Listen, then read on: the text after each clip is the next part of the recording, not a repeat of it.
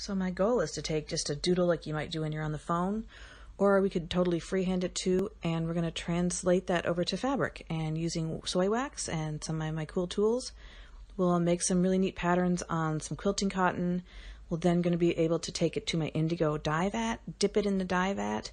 Um, it comes out green. It's such a magical process. And then we'll take it on out and let it oxidize and have beautiful fabric.